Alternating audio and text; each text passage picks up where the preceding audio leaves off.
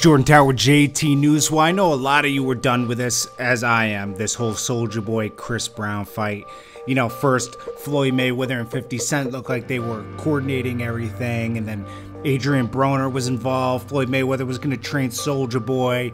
Uh, Floyd Mayweather was setting it up, getting the money together. Chris Brown agreed to the fight. It got a little disrespectful when Soulja Boy started involving Chris Brown's daughter and everything. You know, things were just, it was hot, and then everybody else was jumping in and wanted to fight. You know, Safaree wanted to fight Meek Mill, uh, 22 Savage wanted to fight 21 Savage. You know, you just had all these fights popping up, right?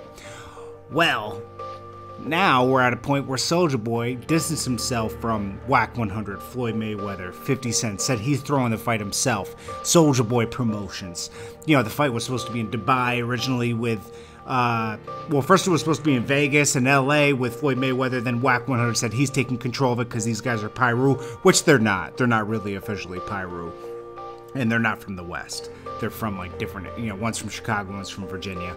Uh, then now it's back to being in Las Vegas or LA with Soulja Boy.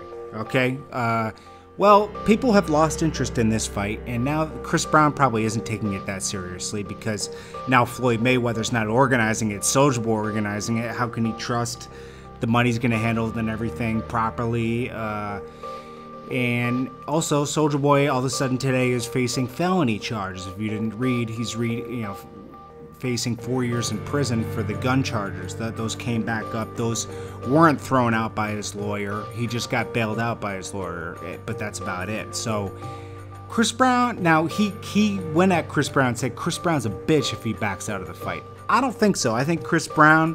First of all, I think Chris Brown would whoop his ass because he uh, he's definitely more in shape. He can dance for like an hour straight. You know, like I don't care how much you train in the next two months, you're not going to get in Chris Brown type shape. That's like some other type of freak type shit, you know, which is cool. Uh, but uh, I don't know, man. I, I think that uh, Soulja Boy should focus on keeping his freedom at this point. You know, he has those charges he's facing with the guns. Obviously, he was on probation where he had the, the guns, so they're gonna bring that up. You know, it, that's a big mess. Uh, I don't think Soulja. I don't think Chris Brown would be a bitch if he backed out because it looks very unorganized at this point, and people have already lost interest in this fight. This fight would have had to happen like immediately for people to keep the focus on the fight, or it would have been organized to the point where they're actually training and filming weekly and coming out with an episode weekly, but that's not happening. It's very disorganized. Um, Soulja Boy, I think you should focus on your freedom at this point and not focus on the Chris Brown fight. That's that's just my recommendation. But it's your life, bro. Uh, this is Jordan Tower, JT News, reporting the news as much as possible daily. Jordan, Jordan Tower, Tower, films, films.